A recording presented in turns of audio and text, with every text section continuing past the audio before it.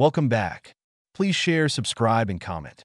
Aeroacoustics is a branch of acoustics that studies noise generation via either turbulent fluid motion or aerodynamic forces interacting with surfaces. Noise generation can also be associated with periodically varying flows. A notable example of this phenomenon is the aeolian tones produced by wind blowing over fixed objects. Although no complete scientific theory of the generation of noise by aerodynamic flows has been established, most practical aeroacoustic analysis relies upon the so-called aeroacoustic analogy, proposed by Sir James Lighthill in the 1950s while at the University of Manchester, whereby the governing equations of motion of the fluid are coerced into a form reminiscent of the wave equation of classical, i.e. linear, acoustics in the left-hand side with the remaining terms as sources in the right-hand side. History The modern discipline of aeroacoustics can be said to have originated with the first publication of Lighthill in the early 1950s, when noise generation associated with the jet engine was beginning to be placed under scientific scrutiny. Lighthill's equation Lighthill rearranged the Navier-Stokes equations, which govern the flow of a compressible viscous fluid, into an inhomogeneous wave equation, thereby making a connection between fluid mechanics and acoustics. This is often called Lighthill's analogy because it presents a model for the acoustic field that is not, strictly speaking, based on the physics of flow-induced slash generated noise, but rather on the analogy of how they might be represented through the governing equations of a compressible fluid. The continuity and the momentum equations are given by del rho del t plus nabla, rho v, equals 0, del del t, rho v, plus nabla, rho v v, equals minus nabla p plus nabla tau where rho is the fluid density, v is the velocity field, p is the fluid pressure, and tau is the viscous stress tensor. Note that VV is a tensor, C also tensor product.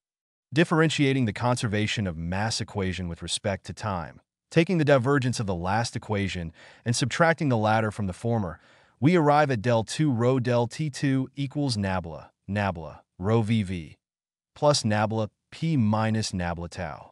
Subtracting C0, 2 nabla 2 rho, where C0 is the speed of sound in the medium in its equilibrium, or quiescent, state, from both sides of the last equation results in celebrated Lighthill equation of aeroacoustics. Del 2 rho del T2 minus C0 2 nabla 2 rho equals nabla nabla. T, T equals rho VV plus, P minus C0 2 rho, I minus tau, where nabla nabla is the Hessian and T is the so-called Lighthill turbulent stress. Tensor for the acoustic field. The Lighthill equation is an inhomogeneous wave equation. Using Einstein notation, Lighthill's equation can be written as del 2 rho del t2 minus c0 2 nabla 2 rho equals del 2t ij del xi del xj. tij equals rho vi vj plus p minus c0 2 rho delta ij minus tau ij.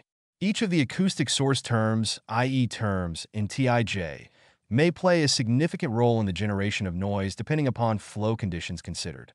The first term rho VIVJ describes inertial effect of the flow, or Reynolds stress, developed by Osborne Reynolds, whereas the second term, P minus C02 rho, delta IJ, describes nonlinear acoustic generation processes, and finally the last term tau IJ corresponds to sound generation slash attenuation due to viscous forces.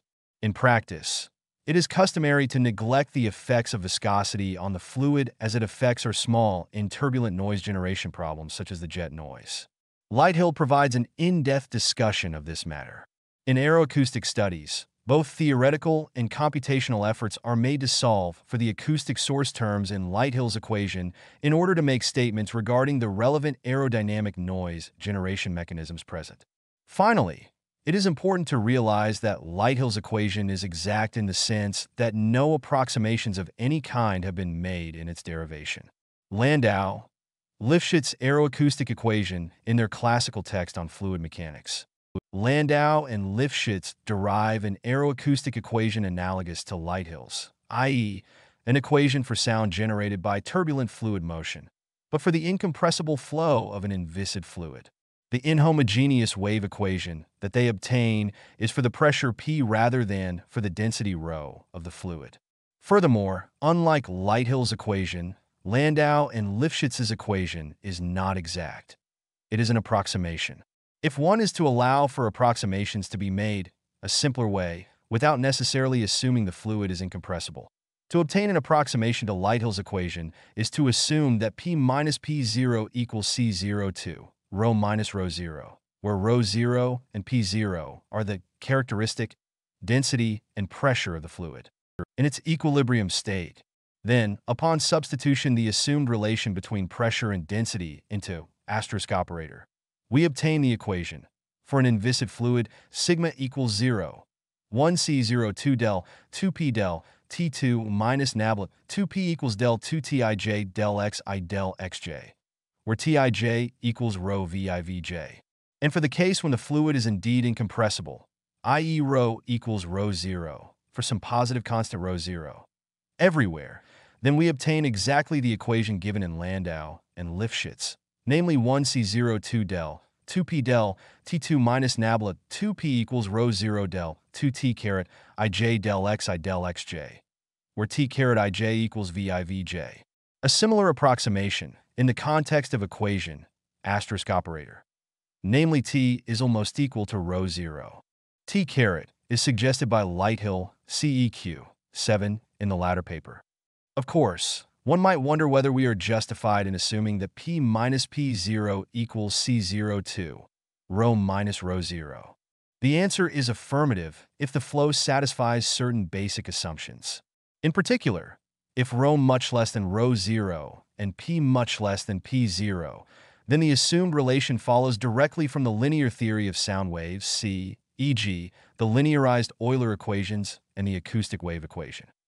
In fact, the approximate relation between P and rho that we assumed is just a linear approximation to the generic barotropic equation of state of the fluid.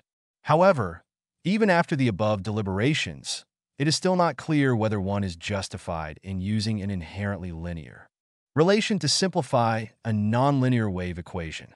Nevertheless, it is a very common practice in nonlinear acoustics as the textbooks on the subject show, e.g., Naugolnykh and Ostrovsky and Hamilton and Morfey.